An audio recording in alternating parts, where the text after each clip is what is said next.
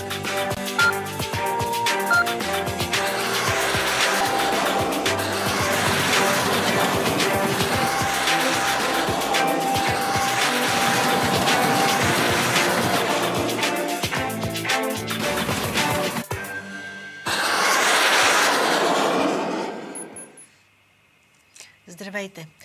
Сега мои гости са Сърнела Воденичарова и Бойка Анастасова от Референдум за мир и суверенитет. Двете е, са тук, за да обяснат какво ще се случи на 6 септември и след два дена, тъй като тогава ще бъде поредния поход за мир и суверенитет и ще се събират подписи за референдума за мир и суверенитет. Здравейте! Здравейте! Дами. Здравейте! А всъщност, защо избрахте 6 септември за поредния поход? А, от една страна хората гледат на това като на почивен ден. Може би няма да са в родните си места. Това е нещо, което ни липсва съединението. Инициативи много. А, къде са съмнителни инициатори, къде е с а, прекалено народни, че на някои чак да се притиснат колко са народни. Но съединението липсва. И според мен точно съединението в всички мисии, които сме предприели, по-малки и по-големи групи от хора, това е нещо, което ще ни изведе в а, правилния коловоз, който ще ни свърши, а, именно ще завърши тази наша мисия за суверенитет и мир на нашата мила родина. Сега аз ще покажа а, градовете. Колко града са? То всъщност 30, и в чужбина 34 има. или 35 града 34. и продължават да се присъединяват. А, включително Нова Зеландия, Чикаго видях. А, Чикаго не е Монреал в Канада. Нова Зеландия, Крайстчърч по традиция участват в а, вече повечето походи.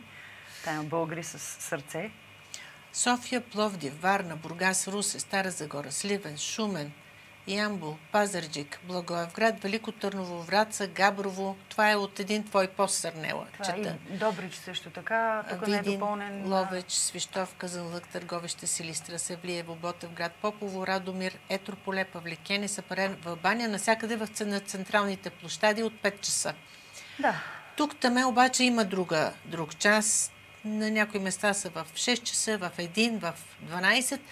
Хубаво е да се погледне на вашия сайт.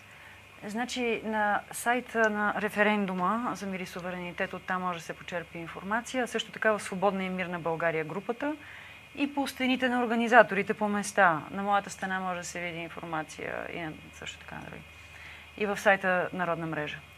А, аз искам да се върна на началния въпрос, защо на 6 защото това е поход съединение на всички, които виждат необходимостта от масирано действие за запазване на мира, за запазване на 3 март като национален празник, за провеждане на референдума за лева, той трябва да бъде проведен, за запазване на Конституцията ни от посегателства и бърникане и за незабавно разпускане на настоящия парламент. Това е изискване. Първите няколко точки, те са заявата на нашата воля, но последното е изискване. И предупреждение също така представлява този поход, защото вече започнахме действия по самоорганизиране а, по места. И на самия поход хората ще могат да дойдат да видят своя район на табелка, например Младост, Люлин, Надежда и така нататък, да се запознаят по този начин, да отидат при хора, които са от този район, да се запознаят с тях и да, се, да започнат самоорганизиране. Сега, забелязах в този, тези постове, които започнахте да пускате организаторите на този поход или референдум за мир и суверенитет, а, нещо ново, което друг път не сте така издигали, това е незабавно разпускане на парламента. Всъщност, вие искате да се вдигнат хората, едва ли не това е призоваване към бунт почти, за да се и да се самоорганизират за притискане на властта. Точно. Това е нещо ново Да. и наистина а, е странно. Вече влизате в политически води.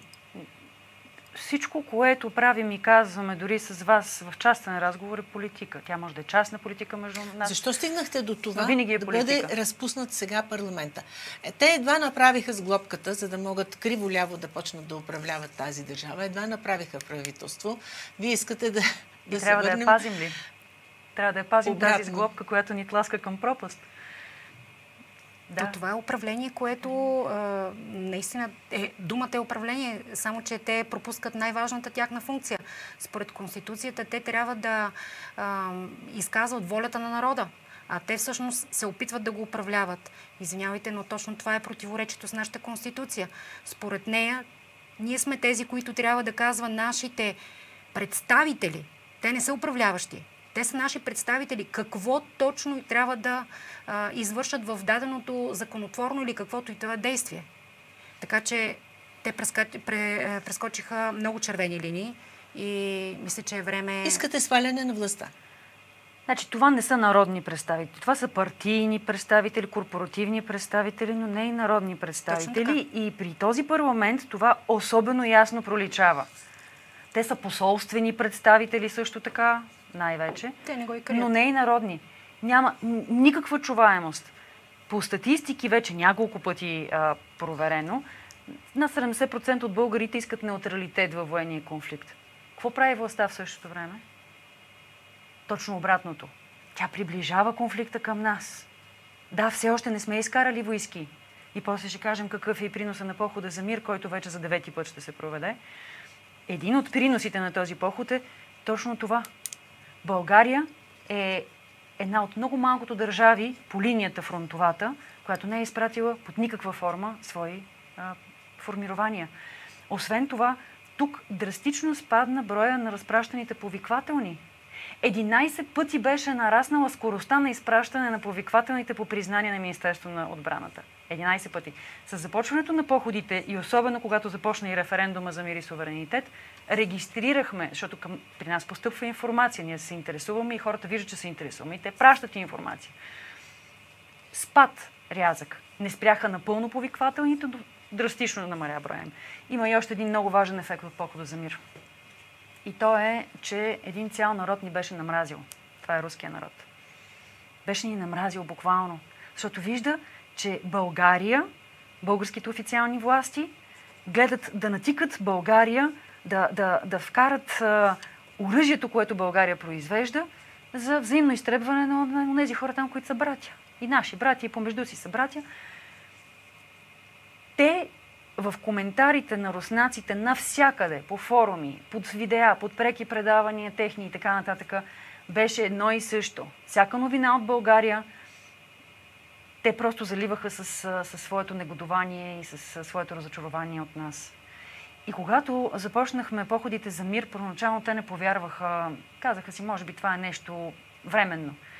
Обаче, когато видяха, че продължаваме упорито и, упорито и се разраства похода за мир и става вече в София 12 000 души стигна, във Варна над 5 000 души и така нататък в 40 града, тогава те разбраха, че българският народ мисли точно обратното на това, което прави правителството. Българският народ иска точно обратното. Да. Защото те разбират и разбраха, че всички тези действия на българския народ са на практика заглушени от централните медии, от големите медии. Нарочно не им се дава Те и гласност. вас, И въпреки това се събираме сега толкова не ви, много. Не ви пуснаха в големите ме- медии, предполагам. Това отдавна сме го забравили. Няма никакъв шанс, докато е тази властта и докато тези собственици на медиите са такива, каквито са, няма да бъде да. Значи Макар, забранена че е доста темата. медии вече ви отразяват. Медии като вашата отразяват, да. Медии като вашата отразяват. Но централните медии, ние си направихме един експеримент, извинявай, ще ти дам след малко думата. Не, няма. Направихме с един експеримент. Първоначално усърдно пускахме през съобщение до всички медии с известие за похода. И не идваха тези БНТ, BTV и Нова. Да не говорим там за дневник, капитал и така нататък, те нямат никакъв интерес, Дарик. Но големите не идваха. Когато спряхме да изпращаме през съобщения, започнаха да идват на похода. Те виждат прекрасно какво правим. Те следят нашите действия, имат си там, нали, кореспонденти по народната мрежа и така. Не спирайте Така да ни каните. Това е извода. Не, напротив, няма нужда. Те следят. Аз смятам, че всяка една медия, уважаваща себе си, трябва да следи новините и без да бъде поканена. А, не за друга, защото би трябвало да бъде актуална във времето и да отразява истината, а не да я изкривява и да я крие, когато ни е неудобна. А, аз искам тук... Аз не виждам какво неудобно има според вас. Ами, чели ли сте въпросите в референдума? Въпросите в референдума, чели ли сте ги? Значи първите три въпроса правят невъзможно вкарването на България във война без разрешението на българския народ. Това е едното. А другото по-важното е, вторите три въпроса, те правят невъзможно взимането на каквото и да било важно решение в държавата, ако народа реши да го стопира с референдум. Ама референдум, който да може наистина да се проведе, а не като цирка с, а, нали, с лева сега, който се разигра. И, и за напред ще се разиграват тези циркове. Сега чувам за референдум за 3 март. Сега за референдума за 3 март искам да ви питам специално, тъй като а, ще кажем, нали, че днес а, се появиха лицата, които а, са в инициативния комитет за този референдум в Off и някои други десни медии го кръстиха Възраждане 2, доста негативно и че това е инициативен комитет около президента Радев. Той поиска провеждане на референдум за 3 март. Дадоха пресконференция. Там са Петър Витанов, евродепутат, историкът професор Искрабаева, бившия председател на БАН академик Иван Юхновски, юристът Явор Нотев, журналистът Явор Дачков. Има и други, разбира се. А, обяснили са, че искат да се проведе референдум за националния празник 3 март. Прави се доста така аналогия с думите на президента Радев от Връхшипка, където той спомена подобна идея и всички заподозряха, че това е нова, нов политически проект на президента Радев. Какво мислите за това вие? Има ли значение кой ще направи а, каквото и да е допитване до народа? за мен няма значение. Обаче има значение, когато го прави и не, не иска да го докара до край. И го прави съвсем целенасочено. А всяка една подписка, свързана с предизвикване на референдум, за мен като гражданин би била реална само тогава, когато а, бъде включен въпрос за намаляване на бройките и за облегчаване на самия подписи, референдум. Броя подписи. Броя подписи за събиране за предизвикване на референдум защото всичко друго би било само един пиар и само едно допитване до народа а, и показност колко само определени а, партии и организации биха могли да използват единствения инструмент на народа, именно референдума. Референдумът трябва да бъде а, нашата, как да кажа, нашата възможност да окажем, да окажем, точно така, да окажем, а, наша, да покажем нашата воля и да изискаме от нашите представители в каква посока да вървят. Това е референдума. И той не би трябвало да бъде а, облегчение за партии, а, велики там някакви личности, които изразяват а, публичност или там каквото и да е. Това е инструмент на народа. И за мен червената лампичка светва, когато не желаят да включат защото знаем как се събират 600 хиляди подписа. Вие докъде стигнахте с вашите подписи? До около 130 хиляди за около месеци нещо сега в тази процедура. Защото ние започнахме втора процедура втора на практика. Процедура. Да. От начало. От начало, но това начало вече беше значително по-лесно, защото имаме изградена мрежа. И това са хиляди хора, които, някои от които интензивно събират, други по-малко интензивно. Ако всички събираха еднакво интензивно, ще се събрани подписите, но не е така, лови. Много бавно се разпространява информацията в това информационно затъмнение, в това медийно затъмнение. Много бавно стига до хората. От уста на уста буквално се случва всичко. Затова м- закона за референдумите, който е предвиден като народен инструмент, граждански инструмент, там не пише партиите да могат да си правят предизборен пиар с референдуми, а пише народа да може да си каже волята. И не е просто да я кажем и тя да стане закон. Точно народа не може да си каже волята, защото са такива условията, че само такива с субсидии, с неограничен достъп до медиите, забележете, Само те могат да И с структури, нали, вече изградени готови, само те могат да съберат в този тримесечен срок. Ние можем да съберем тези подписи, но времето, което, времето е което не достига. Затова използвахме възможност в закона, а, не за друго. Ние намерихме отзор тази възможност, защото държим да се случи референдума. Ние няма да се кандидатираме. Това не е предизборен пиар при нас. Искаме тези, особено тази тройка въпроси, четвърти, пети и шести, не знам дали се виждат. А? Това да се осъществи. Само шести въпрос, ако вземете. Подкрепяте ли национален референдум да може да се произвежда относно дългосрочни договори, забележете, от компетентността не само на Народното събрание, както е в момента, но и на Министерския съвет, като те се ратифицират или изключват само ако има положително решение на референдума. Знаете ли какво означава това? В момента, ако ние искаме да повдигнем референдум за златните концесии и като народ да си ги върнем да работят за нас, например, да направим концесионна такса от процент и половина, 50%, за да остава нещо в тази държава, ние не можем да го направим, защото това ще противоречи на закона, защото този въпрос не е от компетенциите на парламента. Министерския съвет е изключвал договорите с концесионерите.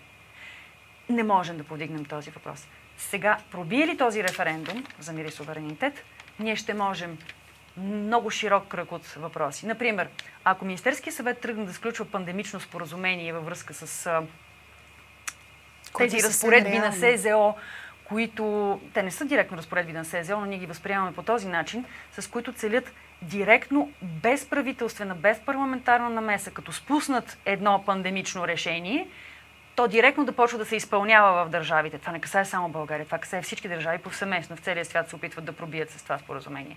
То предстои да бъде подписано следващата година.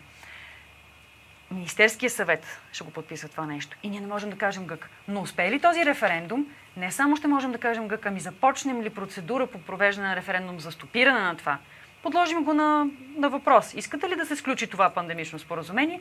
И ако хората кажат не, няма да може да се подпише такова споразумение. Разбирате ли каква сила има само този шести въпрос? Добре, но хората няма ли да се объркат в тези няколко въпроса? Не. Установили сме, че хора, които дори изглеждат не особено грамотни, като четат, четат, задават адекватни въпроси.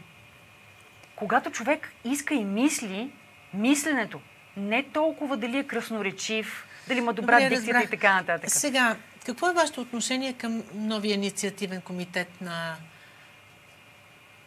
този инициативен комитет за 3 март? Мнение, Нямаме изградено отношение все още. Не сме наясно с, да с това какво и как се случва.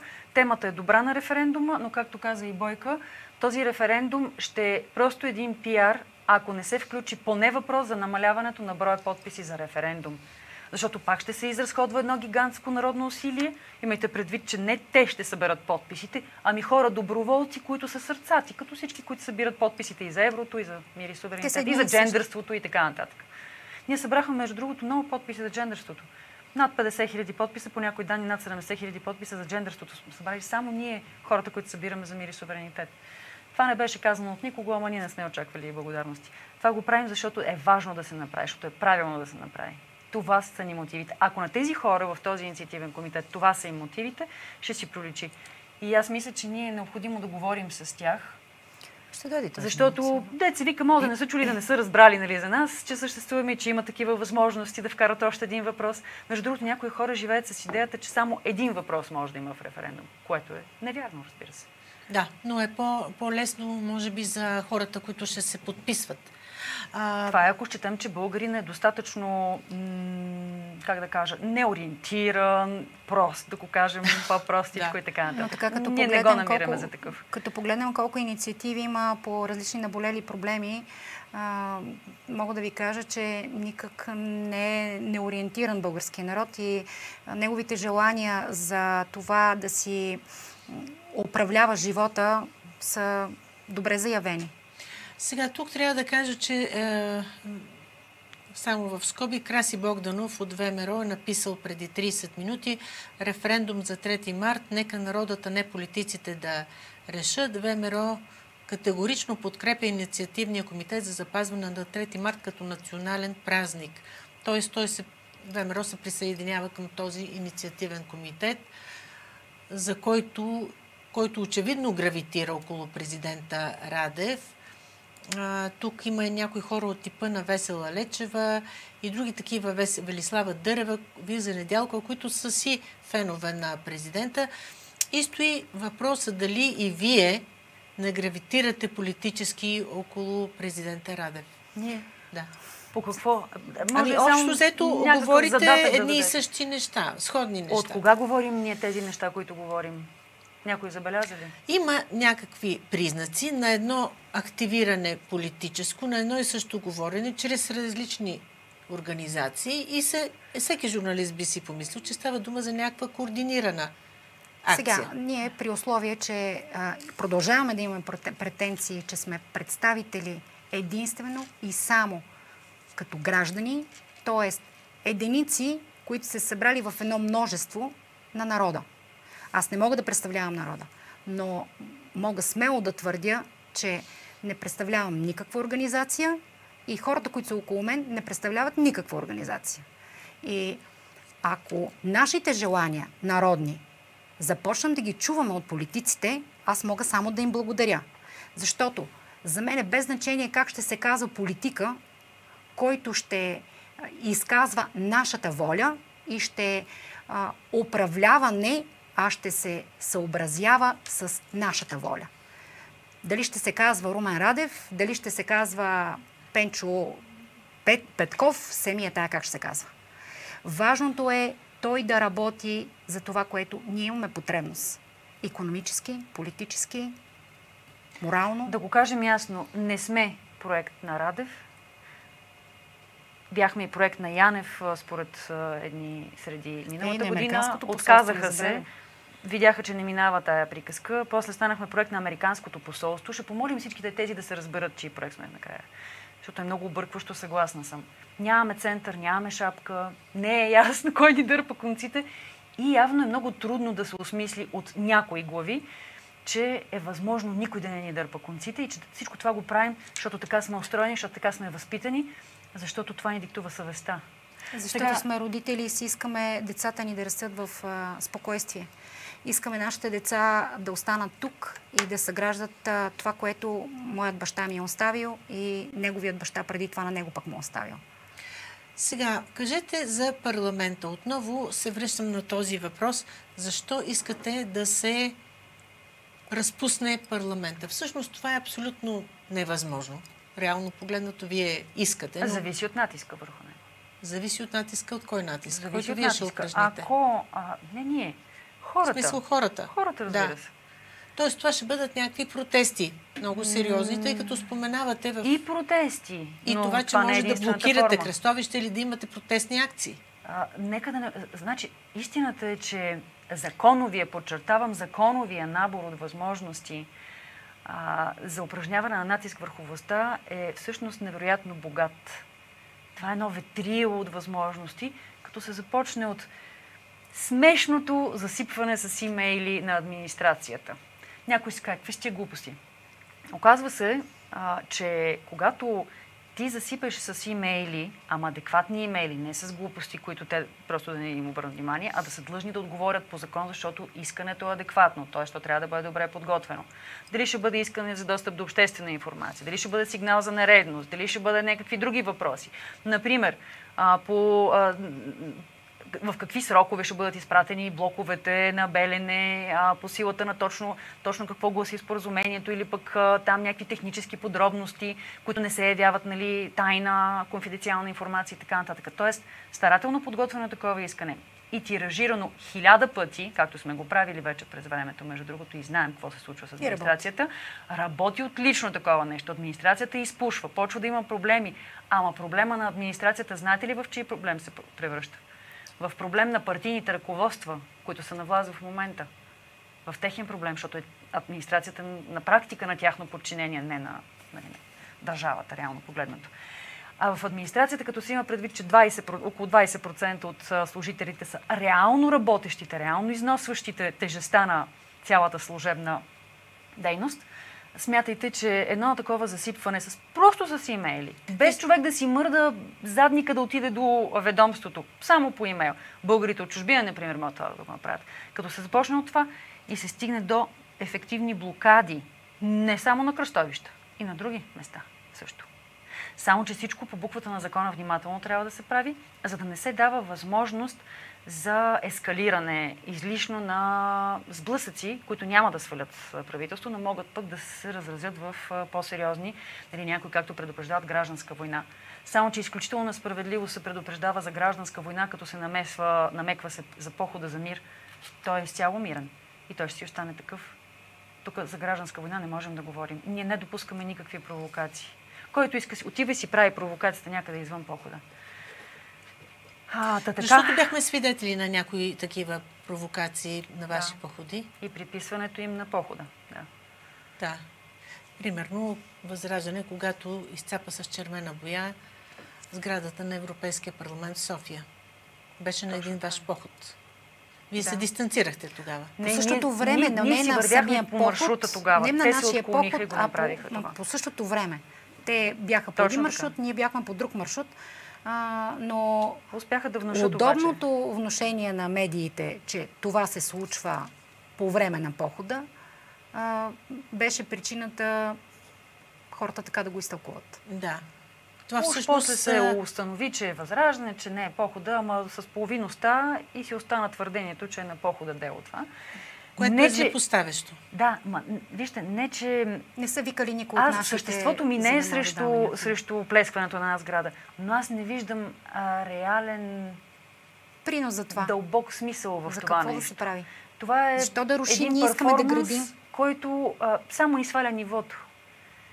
Какви отношения сте сега с Възраждане? Ми, Имате ли контакти? С хора от Възраждане, които са членове на Възраждане, активно събират подписи и идват на походите за мир. Но ръководството, ръководството не. То продължава да гледа на нас враждебно, продължава да се опитва да, да по някакъв начин да ни очерни. Слава Богу, членовете на партията масово не се връзват. Кои други партии ви подкрепят или членове на партии? Хора от БСП идват, хора от левицата, включително членове нали, на ръководствата, не идват с знамената си, съобразяват се с нали, елементарното правило да сме под бяло-зелено-червено, което е естественото знаме на всички нас и за мен, обединяващото. За мен най-голямата подкрепа а, е била тогава, когато на подписката а, се подпишат членове и то кандидати за народни представители от Да, България, които много добре познавам, т.е. припознават каузата, или пък а, варианта хора, които много добре познавам колко а, евроатлантически настроени са и признават, че това, което правим е изцяло народно и изцяло седят зад нас. Това за мен е най-голямата подкрепа. Защото тогава, когато някой е социално ориентиран, то е нормално да търси нещо свързано с облегчаване условията на живот на народа. Това е нормално. Но човек, който има претенции, че от интелигенцията, от тези, които не могат да се смесват с народа, им е малко трудно, да го кажете, за мен е наистина голямо постижение и голяма признателност. Ето това за мен е голямата подкрепа. Нека да пуснем зрителския телефон, да видим какво ще кажат нашите зрители за вашата инициатива. Аз пак ще се върна на въпроса за свалянето на правителството и на разпускането на парламента. Това би тласнало а, страната в някакъв направо хаос. Не, защо? Момент. Парламента се разпуска и се насрочват нови избори. Някой ще каже и добре, какво очакваме с тези нови избори? Да. Ами ще ви кажа, че ако под натиска на народа, на гражданите, които имат достатъчно кораж да излязат, и не ги домързи, така да го кажем, толкова не се иска много кораж, ако под такъв натиск от хората това, този парламент се разпусне, то това само по себе си вече изисква много дълбок анализ и предпоставка реална представлява това следващите да са по-внимателни и да почнат да четат и да слушат какво е това, което искаме всъщност. Нека да чуем зрител. Слушам ви. Добър ден, госпожо Рудо. Здравейте. Здравейте. Имам, така предполагам, че скоро време ще се откажа да се обаждам. Не, че това си е, трогне нещо. Просто такива гости, гостенки направо това. Тя каза, не се е поместила задника някой. И тя помести ли се задника да отиде за мир? Знае ли, че похода за мир, ако си в Русия, както един свещеник се обявил за мир, човека каза за мир между Русия и Украина и подведен под съдебна отговорност. Тя знае ли ги тези работи? А да се казват бащите им, били ли са в там? Техните бащи на тези гостенки. Какви са те и предният гост, госпожо Рудов? Възмутял съм много, извинявайте. Като, като каза този историк, аз така съм го, е така, вече аз го знаем. Аз не мога да разбера вашата теза. Какво искате да кажете? Искам да кажа, че тези са, както вие правилно зададохте въпроса, и ги попитахте, попитахте кои, ги, кои ги подкрепят. И те веднага БСП и, и, и замлъкна и, и, и, и, БСП, и възраждане има само електорат. Те са леви, това са леви. Аз не съм против това. Но кой госпожо Рудов не е за мир в този свят? Не в България, в кой свят? Ами аз утре, госпожо Рудов, правя едно предложение.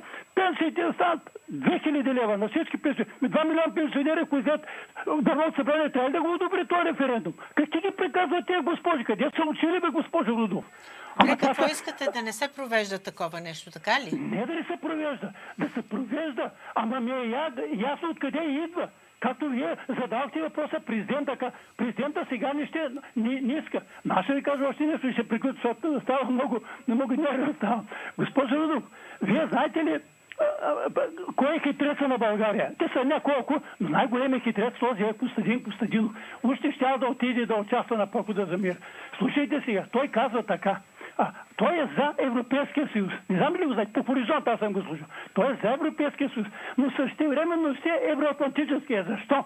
За да скъса между Америка, да ги скъса от Европа, да мой дядо Иван, той късат си за кой става. Просто си развела барака в, в, в Европа. Той е хитрец, той е хитрец, госпожо, но то не е само за Те са много хитреци. И те млади госпожи, аз ги, защо казвам да ги сложа предния глас? Може и две думи за предния глас сам. Благодаря ви за вашето мнение.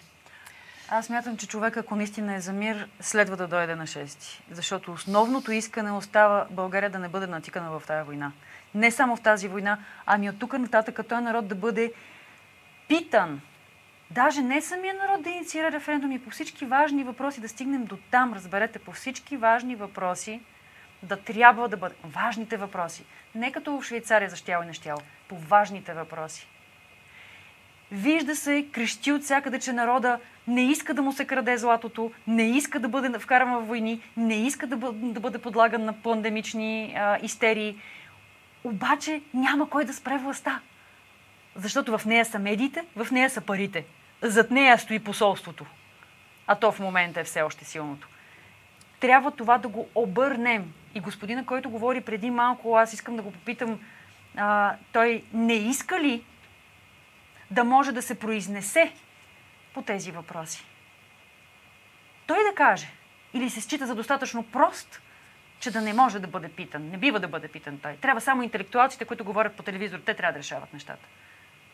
Нов зрител, слушам ви. Ало, добър ден. Здравейте. Здравейте. Ами аз подкрепям нашите тук българки. Значи, българка майка юнашка са тия момичета, бе. А ние ще участваме в похода и на първо место искаме незабавно разпускане на парламента. Подкрепяме ги напълно, а вие ако искате мога да ви обясня за разпускането на парламента няколко думи. Кажете. Ами то е задължително, защото е много вредно. Спомняте ли си 13-та година, когато Бойко абдикира? а, дигна се цената на тока. Нали това беше така да се каже а, зранцето. Ами сега това парламента и правителството изкарват 4 милиона и половина семейства на свободния пазар на тока. Представете ли си какво значи това? 4 милиона и половина семейства по един-двама души ми. Ние сме цяла България. Така че искаме да се разпуснат веднага. Да не говориме за този мухлю, министър-председател, извинявам се много, дето сега прави а, договори да купуваме за милиард и половина долара бронирани, машини от Съединените щати, а ние нашите 100 бронирани машини да ги вкарваме да се бият по да То се оказаха, къде, че те са не негодни за фронта, така че... Годни са за тук да пазят границата и да пазят мира. И ние тук, българите, ще стигнем и ще опазиме тия работи. На 6 септември всички сме там. Да се разпуска незабавно парламента. Благодаря. Много трудно ще накарате парламента и правителството да се, да се самосвалят в тази ситуация. Трудно Това е даже отговор. изглежда абсолютно нереалистично. Така, трудно, нетрудно, каква ни е альтернативата? Плюс това, а, излизането на 6 септември, то е само ясно, категорично начало на, на действия. Аз ви казах, че казахме всъщност, че започнаха процеси по самоорганизиране. Те вече текат процеси по самоорганизиране. Ние ще съдействаме. Всички хора, които негодуват във Фейсбук и са готови на нещо повече от писане, Нека да дойдат на 6 септември, да се свържат с други такива по райони, защото е териториалния принцип, знаете, че винаги е по-удобният принцип. И те са на една вълна. Те са с едни и същи желания, щом са дошли на похода за мир. Щом са се разкарали до похода за мир, те са готови повечето от тях и на други действия. Говорим за законови действия, такива, които да не провокират вандалщина и а, насилие. Нали? Можем да разклатим нещата, когато се съберем достатъчно. Да. Трудно не значи невъзможно. Точно така. Трудно не значи невъзможно. Интересно е, че от нашите зрители, тъй като нашия телефон, който пускаме с зрители всеки ден, е абсолютно нецензуриран. Ние по никакъв начин не, няма сито на това кой да се обажда и кой да не се обажда. Даже не регистрирам и телефонните номера, макар че може би би трябвало професионално да го правим. Но а, един няма който да се обадил в полза на това правителство последните, може би, една година. Аз не съм чула една дума в защита на правителството, на парламента, на тези управляващи партии, които управляваха последните години. Една дума няма в тяхна полза. Тоест гнева на народа действително много се е насъбрал. Нека да чуем още един зрител. Слушам ви. Здравейте, госпожо Рудолф. Здравейте. Първо искам да кажа, че напълно подкрепям тези момичета, че са намерили сили все пак да се обадят и да кажат на този народ събуди се. Вчера чух нещо, което ме ужаси и ми се струва, че това правителство трябва моментално да се отиде. Може ли най-стария град в България, който е открит на територията на Харман ли мисля, че беше, и се казва, доколкото се спомня, Ягодово, да бъде покрит от магистрала Тракия. Магистрала Тракия стигнала точно до него и вместо да направят един отход от около 3 км, тия сега, госпожа, тия умници ще го прекарат през този град, който е световно, ще трябва да стане световно известен, той като той не е известен на света. Той е открит наскоро и това е фактически най-голямата забележителност на България, а тя ще бъде опропастена от такива родолюбци, които са в момента в правителството. Това министър на околната среда ли какъв беше там. Вси- Всичките са такива. Прави ми впечатление, господин министър-председател, как може той да говори, че изявлението на президента било някаква си там. Чакаме си, не майчен, ти в коя държава си? Кой е президент на тебе? Западните правителства, които те докараха разните пос- постановчици от рода на ГЕТ, той излезе сега против президента. Той да отиде вместо президента на съвещание в Европа. Че как може такова нещо? Той трябва моментално да си подаде оставката и не да казва, аз ще преценя, когато му дойде времето. Ако трябва, ще се отида. Не отивай се още сега, бе, моето момче. Друго, защо да не може да се провеждат референдуми? И, и не ми харесва тази приказка, ама той референдум е от, организова- организиран от президента. Няма значение от кого е организиран. Щом е за името на България, той трябва да бъде проведен и българския народ не са толкова тъпи и прости хората. Как може да отидат на избори да избират депутати, а не могат да участват в референдумите? Господина Барцумян да си свали шапката и да си даде оставката, друг път да не се явява с тези изказвания. Друго нещо. Защо да ходим на избори, може да ми кажете, след като изборният закон, който се провежда, той е антинароден. Той не ти дава възможност да гласуваш и да избереш. Вчера ми говорят, ама като гласувате, вие ще изберете хората. Как ще ги избера аз по името ви, господа? Аз да не съм лекар, за да познам кой такъв е. Ми те са психически ненормални. Тези, като ги погледнете в Народното събрание, трябва да минат всичките на психологична проверка и тогава да се явяват като депутати. Така че на избори може да се явява да ходи човек само когато има смисъл. Не виждам никакъв смисъл. Аз съм на 85 години и често да ви кажа откровено, няма смисъл от ходене на избори. Е, има смисъл да ходим на такива референдуми, но те да бъдат задължителни за господа управляващите. Не да се чувстват свръх и отгоре на всичко поставени. Благодаря ви. Благодаря ви. Аз а, бих искала да пусна вашия клип, който е за референдума, как да се събират подписите и след това да направим няколко заключителни думи. Нека да видим клипа. Няма да търпим подготовката на това да бъдат изпратени български момчета да се сражават в един чужд конфликт. Скъпи сънародници, братя и сестри, днес, сега, в този момент ние можем да изберем предатели ли да решават съдбините ни или ние, българите. Простичък е ходът да съберем подписите за референдума, който ни отваря вратите към пряк контрол върху всички важни решения в държавата. Този референдум е единствен по рода си. Случи ли се, ще можем сами да определяме следното. Да уважим ли Истанбулската конвенция? Да се подчиняваме ли на наложени отвън пандемични мерки? Да се търгува ли със здравето ни? Да се отнемат ли лесно деца от българските семейства? Да се изтрива ли историята ни? Да се промиват ли мозъците на децата ни с модерни течения? Да се закриват ли българските топлоелектрически централи? Да се строи ли втора атомна електроцентрала? Да се пропива ли земята на Добруджа? Да запазим ли парите ни в брой? Как да се използват субсидиите? Да има ли граждански контрол върху обществените поръчки? Да имат ли имунитет депутатите? Да могат ли граждани да сезират Конституционния съд? Да членуваме ли в Световната здравна организация, Европейския съюз, НАТО и други партньорски структури?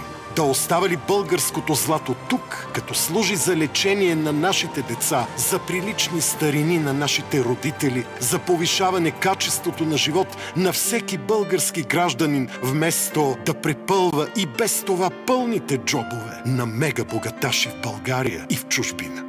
Това е референдумът на референдумите. Той предава контрола върху държавата в ръцете на народа. Всеки час, всяка минута, която му отделите, определят бъдещето на България. Ние сме на ход. Инициативата е в сайта на народна мрежа народна.ме.